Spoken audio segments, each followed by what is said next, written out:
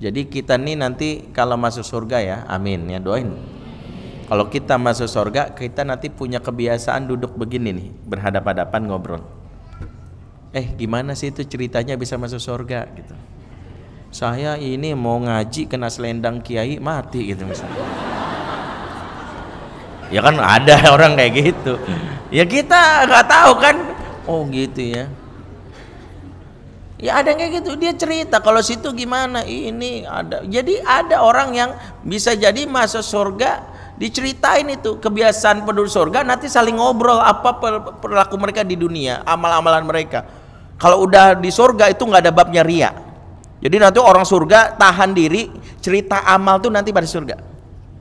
Jadi para ulama mengatakan sembunyikan amalmu karena ada masanya kau ceritakan semuanya nanti di dunia di akhirat yaitu surga. Nanti kita akan pede tuh, tahu nggak? Tuh boleh tuh. Waktu di akhir di surga tuh nggak ada bab ria lagi. Dulu tuh gua di dunia, udah pernah nyumbang gitu.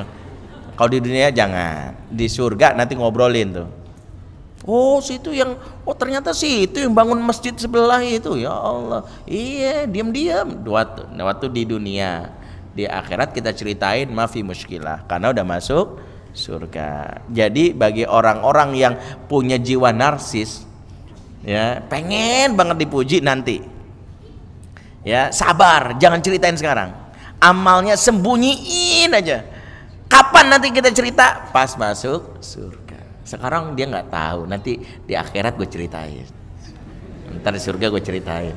Lu nggak tahu kan? Ya yang kemarin ada orang yang kecelakaan yang ditolong siapa? Belum tahu kan lo bukan gue bukan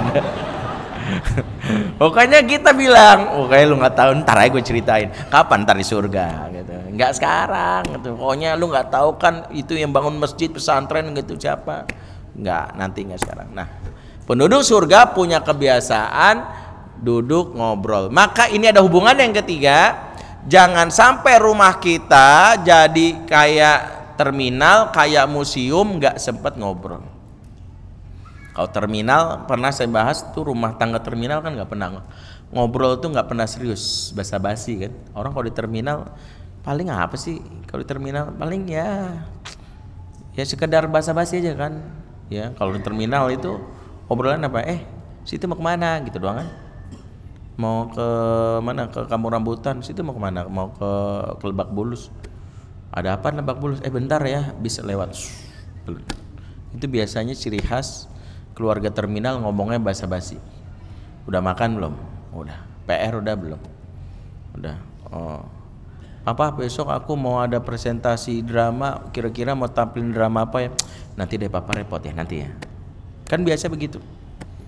Kalau ngomong sama istri gitu dek cicilan Alphard udah dibayar belum? Belum udah.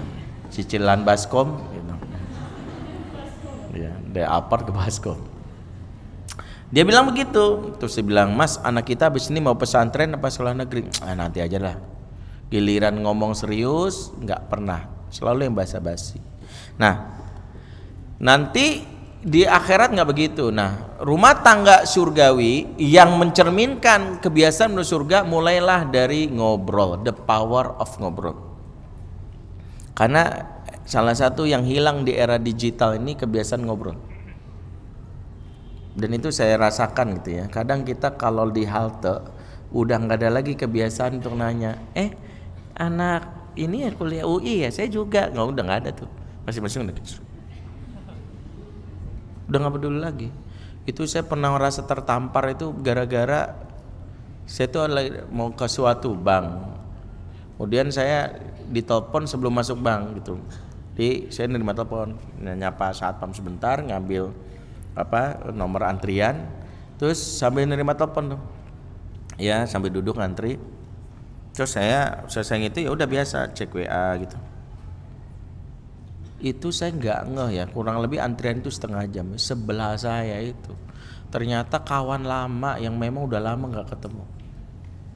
Itu saya ngerasa berdosa banget ketika dia wajib duluan dia antriannya cuma beda satu. Di duluan chat saya juga nggak ngeh gitu Begitu dia udah selesai kan dipanggil saya bertemu. Ayah Allah. Zolim banget kan? Kita udah lama gak ketemu ada di sebelah masing-masing begini. itu saya pengalaman yang sampai sekarang saya catat tuh saya kalau ada suatu tempat saya nggak mau deh ya salah satunya saya harus diingatkan karena kadang-kadang gitu kebiasaan ngobrol ini juga kadang hilang di rumah ada orang serumah tapi nggak sejiwa masing-masing di kamar. Ya bapak sama anak aja kadang WA-an di dalam rumah. Eh bener loh.